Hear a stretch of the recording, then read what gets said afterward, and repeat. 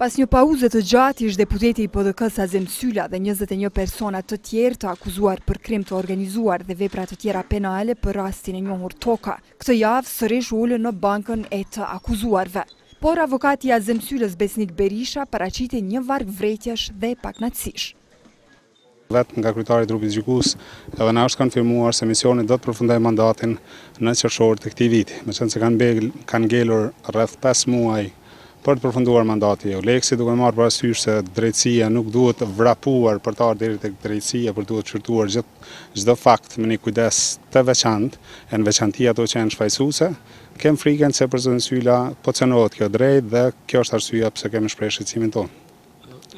Misioni i EULEX-it është duke i trajtuar një sërë rastesh të ashtuquajtura të mëdha në mesin e tyre edhe rastin e Ukë Rugovës për pasaportat. Monitoruesit e sistemit të drejtësisë thonë se këto raste është vështirë të përfundojnë deri në qershor kur pritet të përfundojë mandati i EULEX-it. Sipas tyre nëse misioni i EULEX-it përfundon pa i kryer rastet e nisura gjyqësore atëherë gjithçka që është punuar kthehet në pikën zero. Të gjitha ato raste kur prokurorat po në vërtetë kur gjyqtarë të EULEX-it kanë qenë pjesë e paneleve gjyqësore, ato raste duhet të fillojnë nga e para, që nënkupton që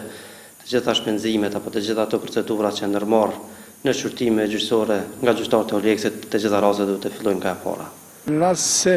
ka raste të tilla që duhet të fillojnë nga fillimi, nënkupton që koha e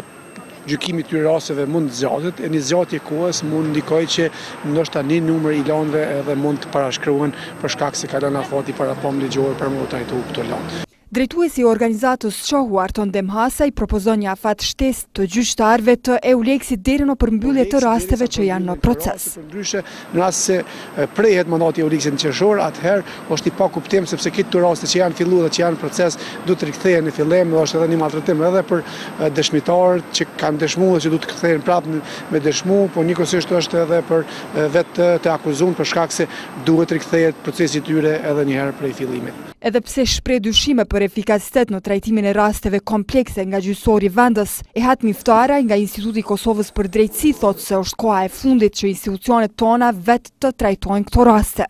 Ne duhet ta kemi të qartë që Kosova duhet të fillojë vetë të mendojë që të forcojë sundimin e ligjit. Ne duhet të harrojmë faktin që të kërkojmë nga qoftë nga Euleksi apo nga ndërkombëtarët që ta ndërtojnë apo ta përmirësojnë këtë sistem. Misioni i Bashkimit Evropian për sundim të ligjit EULEX dhjetë vjet më parë ishte ftuar nga institucionet e Kosovës për të forcuar ligjin dhe rendin, por me gjithë buxhetin dhe stafin e madh monitorues të fushës së drejtësisë thonë se ky mision është pritur të bëjë më shumë në Kosovë, shtetin që vazhdimisht është kritikuar edhe në raportet ndërkombëtare për korrupsion e krim të organizuar.